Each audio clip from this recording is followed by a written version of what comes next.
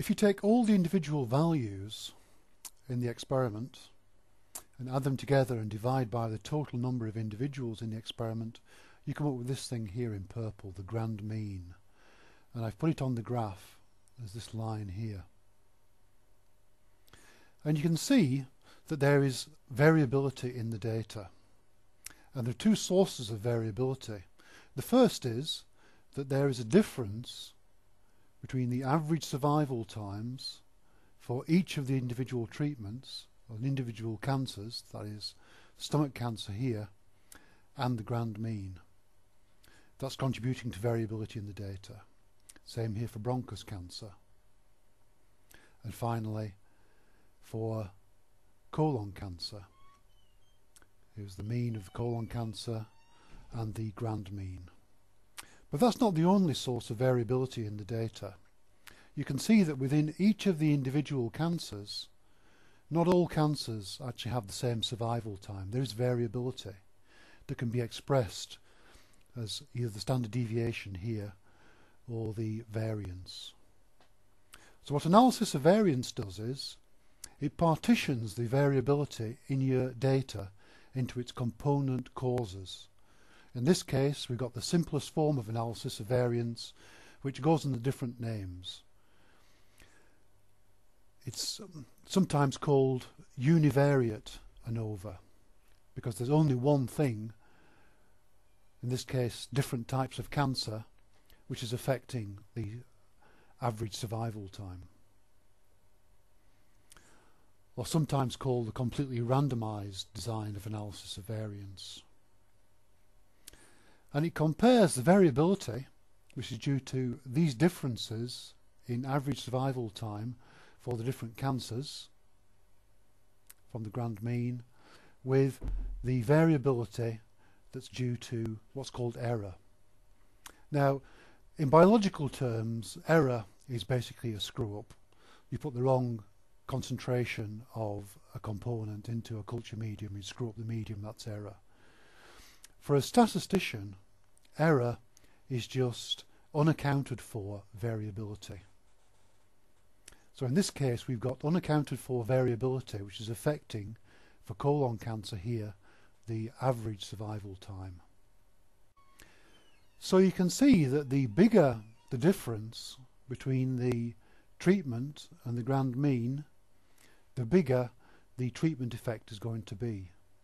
But also because we're looking at a comparison of the size of these differences compared to the size of random error, then how fat these peaks are is also going to have an effect on the variance ratio.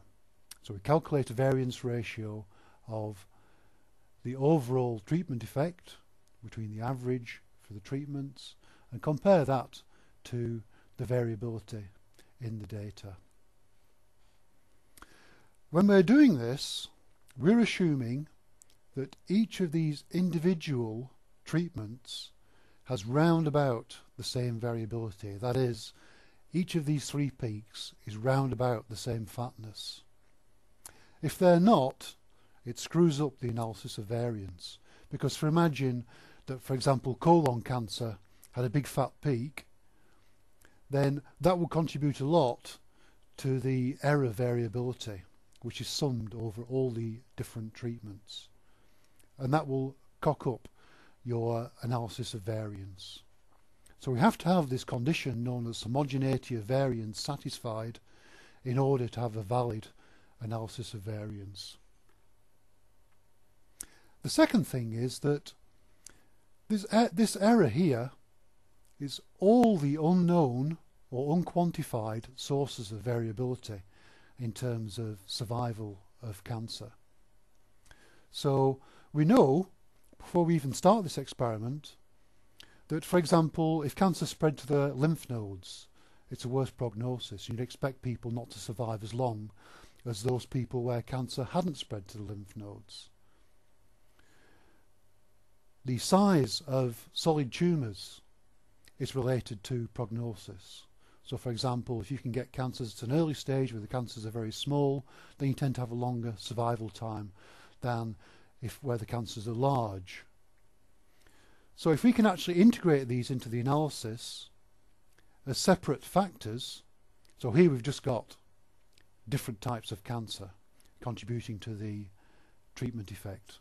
We could have a separate treatment effect which was has cancer spread to the lymph nodes. If we take that into account then we should sharpen up these peaks. So we're taking variability that we thought might be important out of the error variance, reducing the error variance, and by doing that we're making this variance ratio bigger. So the treatment effects may stay the same, but by sharpening up these peaks, we're actually making the ratio of the treatment effect to the error, error variance bigger, and we have a more powerful test, and we end up with higher significance levels. So that's important to know.